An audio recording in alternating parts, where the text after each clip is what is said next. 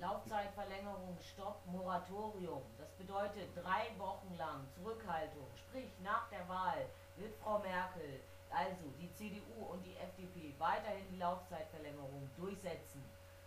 Äh, die Bürger sind denen scheißegal. Das heißt, wir werden von oben bis unten belogen.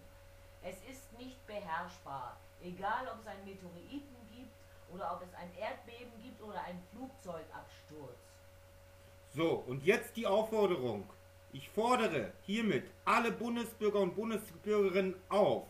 Nehmt eure Pflicht und geht auf die Straße. Und sagt, es reicht. Es reicht. Geht morgen nicht zur Arbeit. Dies ist der größte Widerstand. Wir wollen endlich eine Energiewende.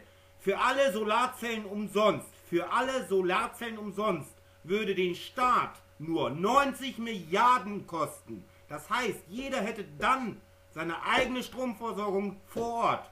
Das heißt, alle Hochspannungsleitungen, die hier durch die Bundesrepublik führen, wären dann auch unnutz. Man könnte dieses Eisen auch schon wieder für andere Sachen nehmen. Also Leute, werdet wach, es geht anders, wir wissen das. Und der Staat und die Betreiber belügen uns und betrügen uns. Schon seit Jahrhunderten ist es so, dass Könige immer das Volk ausnutzen, dass Kanzler immer das Volk ausnutzen. Hitler hatte seine Leute auch nur ausgenutzt. Für was war dahinter herausgekommen? Er hat den Krieg verloren und es waren Millionen von Toten. Also Leute, Niemals würde ein Staat den Bürger helfen. Ich weiß das ganz genau. Die werden uns alle in Stich lassen. Wählt Frau Merkel ab. Es reicht. Wählt Mappus ab. Es reicht.